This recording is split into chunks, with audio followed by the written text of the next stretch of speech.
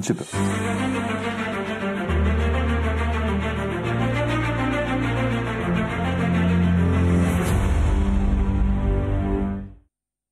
Bună seara, stimați spectatori!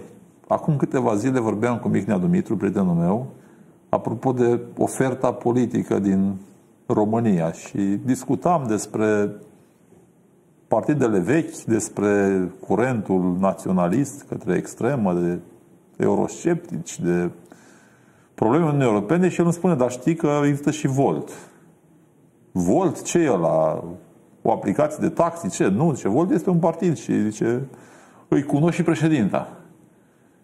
Și așa am invitat astăzi pe Mihaela Sirițanu, bine ai venit Mihaela. Bine v-am găsit. Care să ne spună cine este ea, ce este Volt, ce scop au și mai întrebăm și alte lucruri, că nu o lăsăm aici numai așa să se prezinte. Mihaela, ce este Volt? De la ce vine? Vă mulțumesc pentru invitație. În primul rând, um, Volt este un partid social-liberal, un partid progresist, pan-european. Um, noi suntem fondați din anul 2017. La nivel european uh, ne-am înființat ca răspuns direct în urma Brexitului. Pentru noi, de fapt, Brexitul a arătat cât de fragilă este Uniunea Europeană și că este nevoie pentru a o consolida. Anume, acest lucru a stat la baza formării acestui partid. Sunteți um, în toată Europa? Suntem prezenți, avem echipe în toată Europa, da? Și avem, toată Uniunea, um, automat, că în Serbia nu ce face. Am înființat uh, Volt Ucraina um, acum de când s-a început războiul. Uh, deci suntem în, uh, și în afara Uniunii Europene. VOLT ce înseamnă? Uh, înseamnă energie. um, energie Uniunii Europene. Um, am ales numele ăsta pentru că am vrut să avem o denumire care nu se traduce indiferent de limba vorbită în Uniunea Europeană.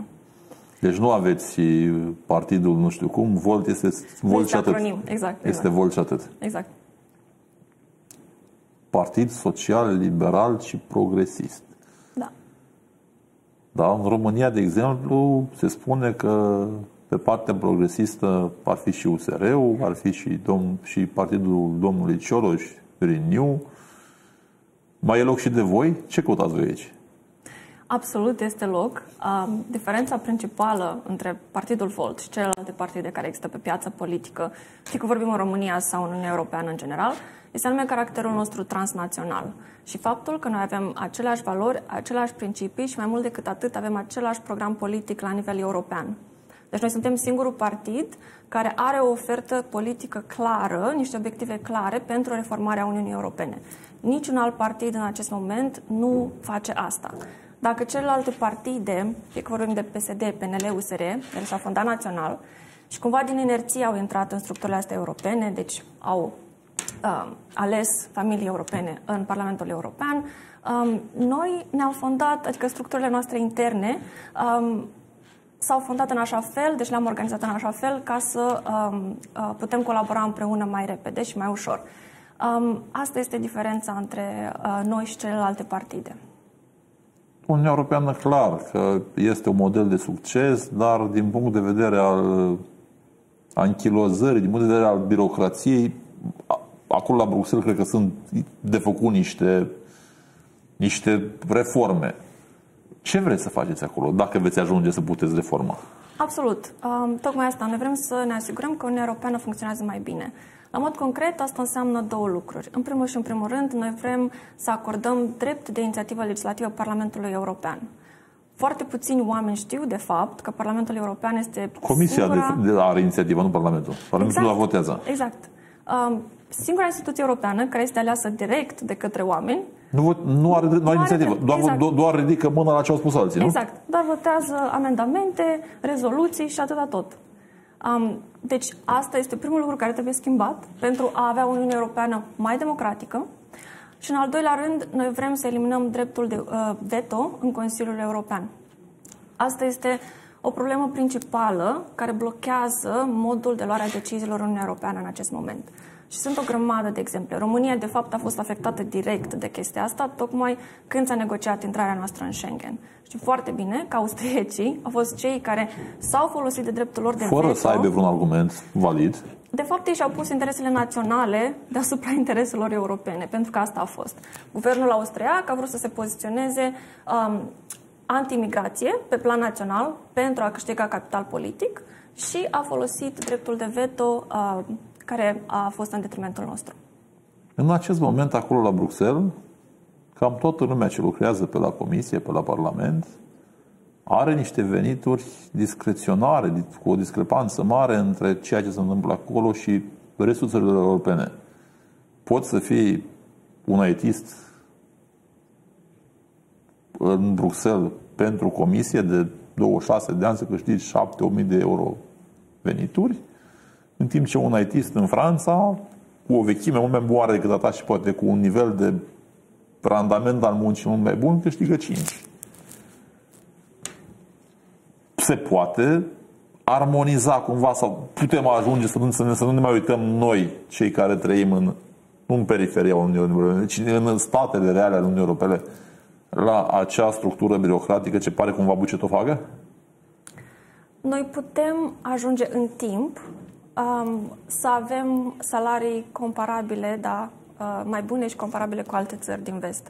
Tocmai de asta, uite, uh, România, uh, odată ce a intrat în Uniunea Europeană, a beneficiat foarte mult de fondurile astea de coeziune pentru dezvoltare regională. Um, este cu totul altă problemă faptul că guvernul nu poate absorbi aceste fonduri și nu le folosește cum trebuie, um, dar asta este una din inițiative, da? Um, cum ne ajută direct Uniunea Europeană pe noi, cei care locuim în uh, România, pentru a ne dezvolta economic. Sunteți relativ la început. Eu care sunt destul de atent la spațiu public, am auzit vorbind cu Mihnea despre voi.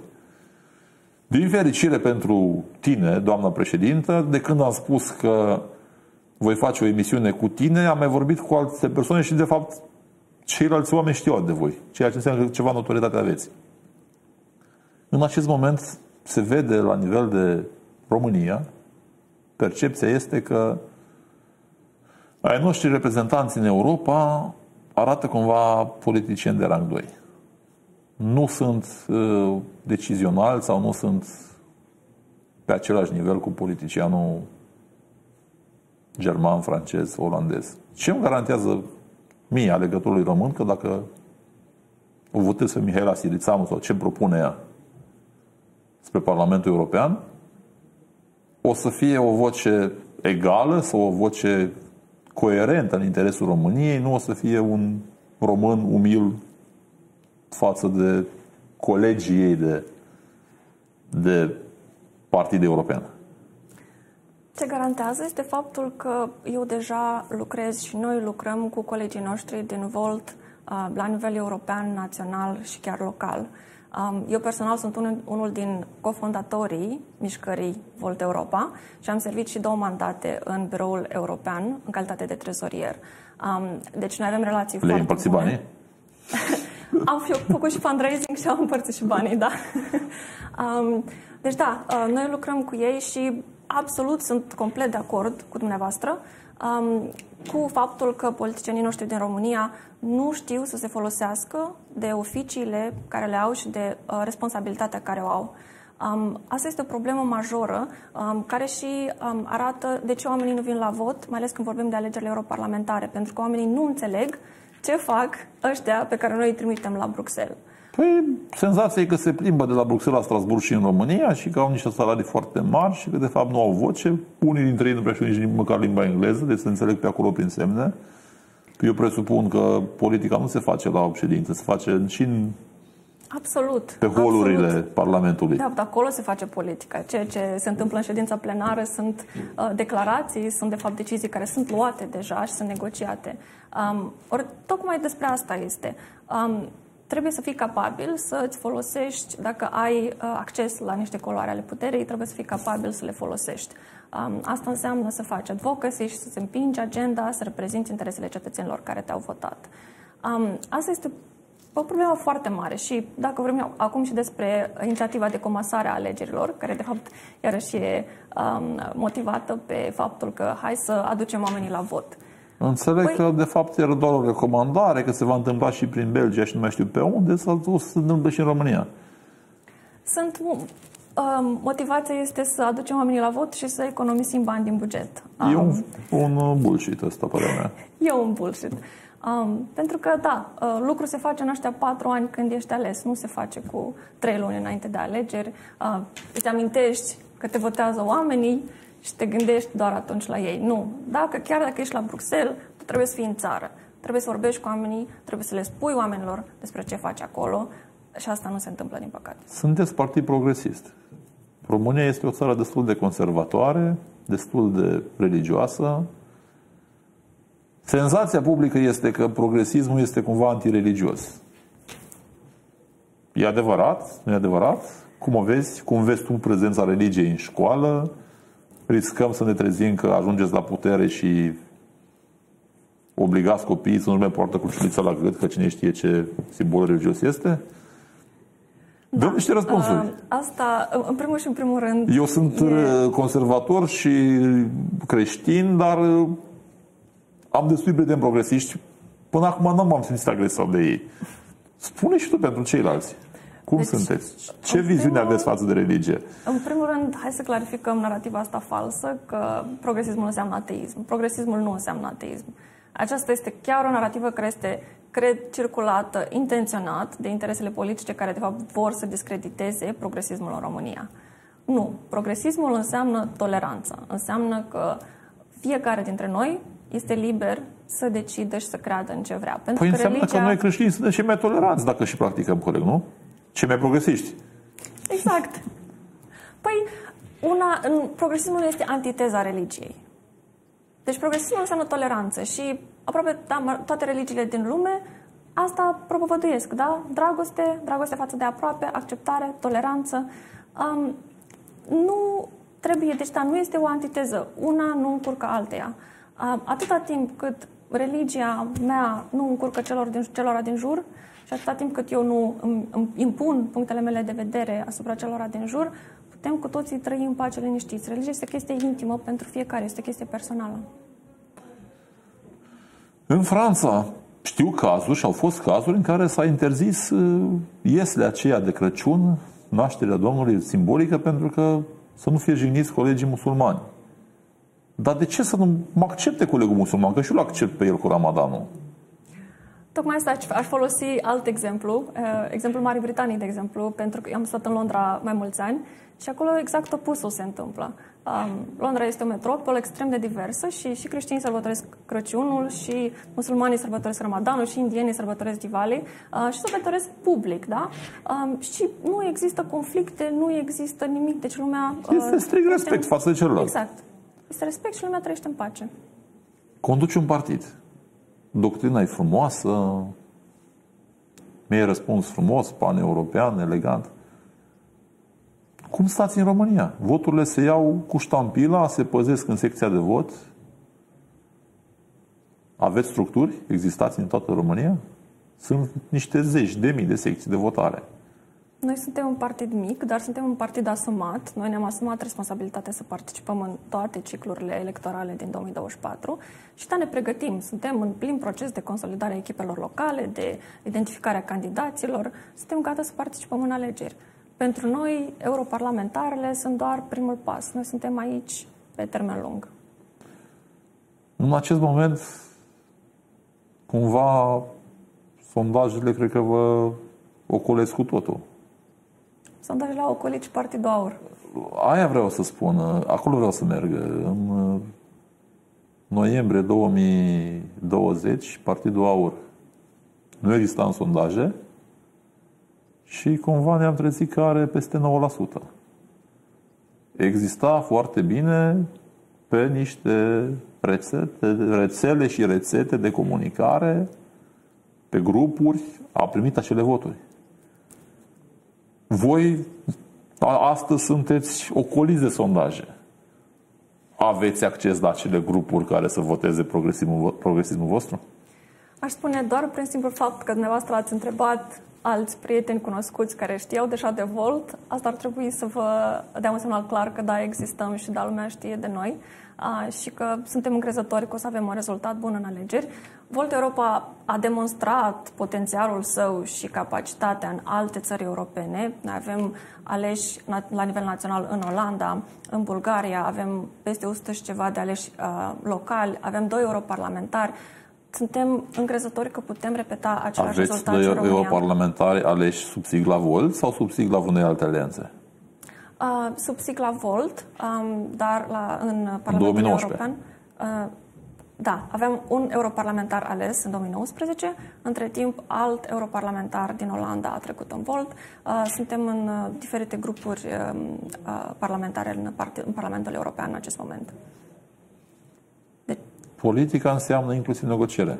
da, E o șansă să vedem în, în Parlamentul României ajungi cum vrea să ajungă și Ludovic Orban împreună cu, cu locomotiva USR parlamentar Volt într-o formă de alianță? E o șansă, evident. Suntem aici să facem politică și în acest moment discutăm cu mai multe formațiuni politice și vom anunța la momentul potrivit uh, în ce formulă vom participa în alegeri. Spunem, te rog, uh, social-liberal. Să ne întoarcem la denumire, la discuția de, de început. Ce înțelegi tu prin social-liberal? Mai, mai există un partid social-liberal în România, pe USL. Sunteți, vă bateți pe aceeași pe același discurs, aveți o altă viziune asupra ideii de social-liberal, Um, cred că ce politicile înțelegi tu noastre... prin social-liberal? Ce înțelegeți voi uh, la nivel european prin social-liberal? Uh, Cred că politicile noastre publice ar fi nuanțate, uh, deci uh, există diferențe între noi și USR. uh, Diferența principală, după cum Nu spuneam, USR, este pe faptul- USL este social-liberal. Partidul Umanist Social-Liberal. Așa. Uh, diferența uh, principală este faptul că noi avem și um, elementul ăsta Componenta european, europeană. despre care vorbeam, da. Um, dar, pe general, ce înseamnă pentru noi? Asta înseamnă progres economic, înseamnă sustenabilitate și înseamnă echitate socială. Deci noi ne dorim o Românie în care uh, statul susține mediul de afaceri prin debirocratizare, prin digitalizare, prin investiții în infrastructură și în același timp ne dorim o Românie în care serviciile publice să fie de calitate. Un copil care merge la școală în Vaslui trebuie să aibă acces la o educație de aceeași calitate cu un copil care merge la școală în București. Păi da, dar asta îți trebuie pentru așa ceva niște profesori cu pregătire similară. Nu neapărat, degeaba îi faci tu accesul, du-te la aceeași școală și dai și o tablă inteligentă. Păi, Evident, avem Și cum, cum reușiți voi? Că în acest moment nimeni în lume n-a reușit să facă aceeași condiție de învățământ între țărănușul francez din Pirinei și burghezul din centrul Lyonului sau Parisului. E despre Cum reușiți voi? E despre E acces. interesant, e foarte, e foarte frumos și plăcut ce spui. Dar uh, niște pârghii. E despre a avea acces la aceleași oportunități. Și nu trebuie, locul de trai nu trebuie să-ți dicteze oportunitățile și serviciile publice la care ai tu acces. E simplu. Um, noi suntem aici pentru a promova idei, ne dorim tare mult să obținem pârghiile despre care vorbează și să ajungem în Parlament, să ajungem în consiliile locale pentru a promova uh, ideile noastre acolo. E frumos ce spui. Liberal. Liberali sunt și la Ludovic Orban, sunt și la domnul Ciucă. Unii spun că PSD-ul este mai liberal decât PNL-ul în România, nu? Sunteți și voi? mai liberal decât PSD-ul sau... um, chestia e în felul următor. Um, politicienii ăștia au demonstrat deja ce pot ei să ofere cetățenilor. Um, și cetățenii trebuie să aleagă dacă vor mai mult de ceea ce a fost deja sau dacă vor să încerce ceva nou. Noi suntem alternativa, sau noi vrem să oferim ceva nou. Ceva nou. Um, avem uh, o multitudine de idei. Um, de exemplu, vrem foarte mult să um, creștem parteneriatele publice-private la nivel local. Uh, Un exemplu clar ar fi învățământul dual, care există de ceva timp în România și care funcționează, dar trebuie extins. E nevoie să simplificăm birocrația, ca mai multe companii să facă parte din, uh, din acest proces, um, să fie mai multe domenii, da, noi avem nevoie de IT, avem nevoie de tehnicieni 3D, um, ar fi, asta ar fi una din um, politicile noastre um, pe care vrem să le promovăm atât la nivel local cât și național. Am avut uh, zilele trecute invitat pe Roxana Muzatu care îmi spune exact același lucru, apropo de, de dezvoltarea și de succesul uh, practic pentru o societate a învățământului dual. Dar în același timp trebuie să țineți cont și de faptul că sunt uh, destule zone în care încă mediul privat nu este suficient de puternic cât să devină un partener al statului. Da, absolut. Um, păi, uh, reforma asta nu există într-un vacuum, da? Um, trebuie de lucrat pe mai multe paliere și dezvoltarea mediului de afaceri rămâne în continuare un obiectiv principal pentru că pe mediul de afaceri se bazează dezvoltarea economică a României. Um, deci, absolut, e nevoie să, să lucrăm și la partea asta.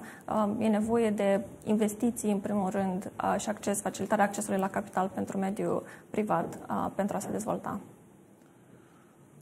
Te întorc înapoi la potențiale votanți Volt. În acest moment, uh, în România, clar că toate partidele au în ele sau apropiați de ele oameni care sunt progresiști, toleranți, doritori de mai bine, de viziune de viitor. Ceea ce e corect și bine. Doamne ferește să fie, ne întoarcem la un partid agrarian sau ceva de genul ăsta, nu? Eu sunt partidul oltenilor. Poți să-l faci să candidezi la primărie din Craiova, dar nu să mergi cu el în Europa. Ce mecanisme aveți voi să arătați că, de fapt, sunteți mai, mai votabil decât partidele care multe dintre ele până acum au și-au arătat limitele partidele clasice. Eu Absolut. sunt perfect de acord cu tine că și-au arătat limitele. Absolut. Uh, ce avem noi de arătat uh, este ceea ce facem noi în alte țări europene și cum putem face lucruri similare atât în România și mai mult decât atât cum putem colabora. Um, Uite, un exemplu foarte bun, noi suntem în mai multe, în coaliție de guvernare, în mai multe orașe din Europa, inclusiv München, Frankfurt. Um, acolo colegii noștri, de exemplu, lucrează la... Când spui München, Frankfurt, tu spui zona dezvoltată a Uniunii Europene, nu? Da, da. Vă um, scăuții de cine știe ce. Da, uh, deci avem, avem și în Grecia aleși local, și în Bulgaria, și în Italia, deci suntem răspândiți în, uh, în întreaga Europa. Și da, colegii noștri, de exemplu, spuneam în Frankfurt, Uh, lucrează pe o inițiativă de digitalizare a platformelor interne folosite de uh, toate orașele din uh, landul federal Hessen. Um, deci, o asemenea reformă ar putea uh, fi implementată și în România, pentru că noi avem o problemă extraordinar de mare cu digitalizarea. Ea se întâmplă, dar ea nu funcționează, platformele nu sunt user-friendly, noi avem o problemă, există un risc de securitate um, și platformele nu comunică între ele. Um, noi, în calitate de partid progresist, ne imaginăm o digitalizare în care orice cetățean um, trebuie să interacționeze cu statul foarte ușor. Deci dacă tu trebuie să depui cazierul juridic către o instituție pentru că îți trebuie nu știu ce, să faci asta o singură dată. Să nu depui cazierul juridic și către altă instituție când ai nevoie de altceva. Um, deci asta este uh, o digitalizare în adevăratul sens al cuvântului. Și prin prisma faptului că noi avem oameni care fac asta în alte părți, noi putem împărtăși bune practici um, și putem să implementăm asemenea lucruri în România. Vrei să spui că ar putea fi o Românie în care o analiză care ți-ai făcut-o în uh, Lehliu o poate vedea și medicul din Timișoara? Eu vreau să spun că există bune practici care pot fi contextualizate și implementate aici în România. Ar fi superb. Da. La fel, Uniunea Europeană. Sunteți mulți, sunteți, doriți să faceți. Felicitări. Aveți deja niște bune practici. Iar mă întorc în România. În România mult, bună parte din uh, votanții tineri, dinamici, au dat mandat USR-ului pe un discurs antisistem, anti-vechi politicieni, au ajuns în guvernare și au arătat că, de fapt, nu au fost mult mai buni.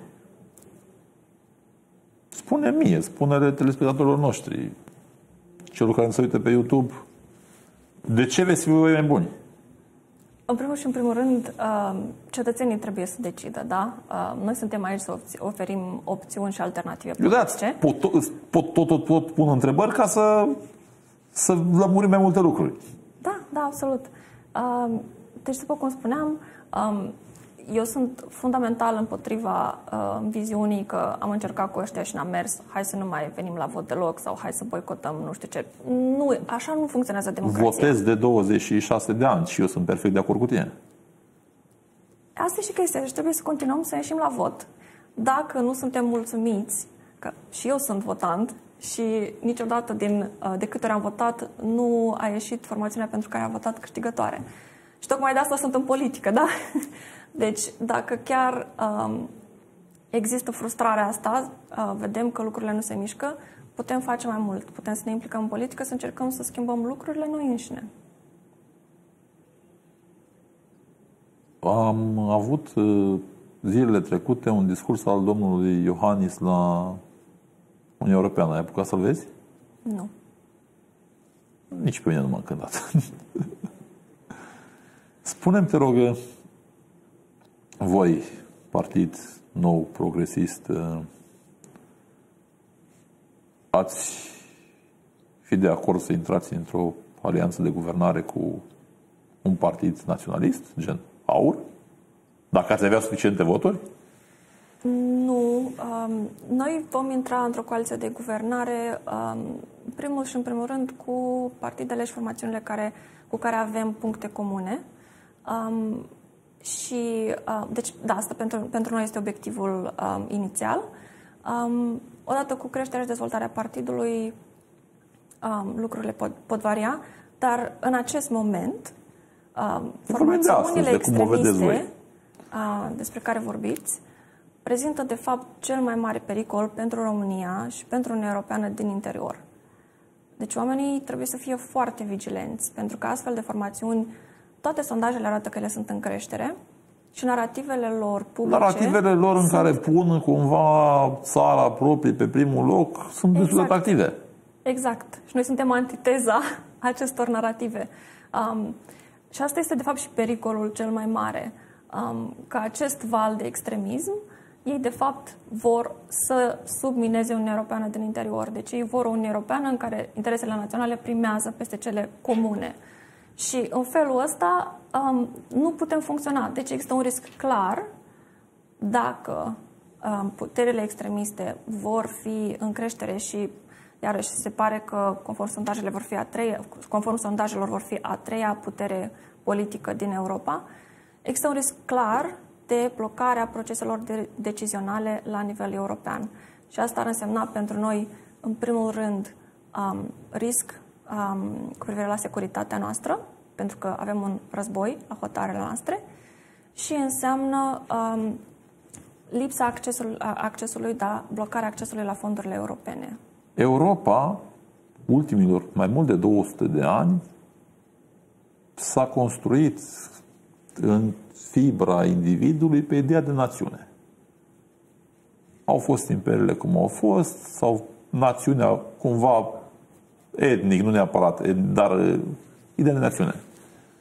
Generații întregi. Uniunea Europeană a început cu acel light motiv superb, unitate în diversitate. Nu cumva în acest moment Uniunea Europeană pe parte, sau poate, nu vreau să-mi răspuns tu cum, sunt, cum vă vedeți voi, a uitat de acea diversitate și pune prea mare accent pe unitate? Nu ar trebui, nu ar trebui cumva să, să ne simțim foarte confortabil român în Europa, nu european? Complet de acord. Um, nu sunt de acord că... însă cu narativa că identitatea noastră națională uh, stă cumva împotriva identității europene. Păi Dacă... ar trebui să nu stea. Ar, păi nu stă. Noi ar trebui putem, să nu stea, da. Pot da. să fiu și moldoveancă, și româncă, dar și cetățean european, da? Astea sunt toate identitățile mele. Dar la acest moment este cumva senzația asta, că, că Bruxelles a devenit uh, pan-european, Comisia taie și spânzură, noi, parlamentele naționale, am ajuns de mai mult de 60% dintre, din legislație doar uh, zicem, da șeful și o consfințim sau și dacă nu o consfințim, ea devine obligatorie. Și atunci cumva fibra europeană, naționa, ă, națiunile europene, cetățenii europeni care ei să știu că sunt nemți, români, italieni, ce or fi, se simt cumva vulnerabili. Și simțindu-se vulnerabil, se duc destul de natural către ăla care îi spune vreau să fac America mare din nou sau tu trebuie, noi trebuie să rămânem nemți, italieni, români. Cumva, părerea mea, care sunt un, un european critic, nu sunt anti-Uniune, sunt, un, sunt un, un fan al ideii de România în Uniunea Europeană, dar sunt european critic la ce se întâmplă acum. Voi reușiți să veniți sau veți reuși să veniți cu un cu o explicație, cu un discurs că, de fapt, noi vom fi tot români în Europa, nu sluga din periferia Bruxellesului? Așa Pentru că toate imperiile au căzut pe clivajul centru-periferie. Cumva centru a început să dicteze și periferia, care a, a, a putut să se dezvolte suficient de mult cât să își dorească mai multă putere, a încercat să rupe de imperiu. S-a întâmplat și cu romanii, s-a întâmplat și cu imperiile de secol XIX, început de secol 20. Nu aș dori această, această evoluție și Uniunii Europene. Presupun că tocmai de-aia v-ați înființat și voi, nu? Absolut. Um, și este important să clarificăm un lucru aici. Uh, Uniunea Europeană nu, ex- nu este o chestie abstractă, uh, nu suntem noi detașați de ea, da? Noi suntem europeni și facem parte din Uniunea Europeană. Oficialii noștri aleși, români, fac parte din toate forurile decizionale la nivel european. Sunt și în Parlamentul European, avem și comisari, miniștri care se întâlnesc și discută. Deci nu există, narativa asta este falsă, care este folosită de obicei de politicieni care vor să implementeze poate niște uh, politici publice care nu sunt foarte populare și folosesc Uniunea Europeană pe, uh, ca, ca scuză sau dau vina pe ei. Uh, ori lucrul ăsta este fals și oamenii trebuie să înțeleagă asta. Și da, uh, spuneați de nevoia de, de consolidare pentru că toate imperiile um, și-au găsit sfârșitul. De asta noi ne-am fondat, pentru că vedem că ar, am putea ajunge într-un scenariu în care Uniunea Europeană este mult mai slabă sau chiar se desființează. Și noi vrem să oprim asta, vrem să oprim asta anume prin reforma uh, instituțiilor europene despre care vorbeam. Mai mult decât atât, sunt, avem o viziune pe termen lung despre cum ar trebui să arate Uniunea Europeană. În primul și în primul rând, niște competențe clare trebuie mutate către nivelul european. Aici vorbim despre apărare și politică externă. Um, cred că în contextul războiului am văzut foarte clar cât de greu s-au aliniat țările pentru a implementa uh, sancțiunile împotriva Rusiei.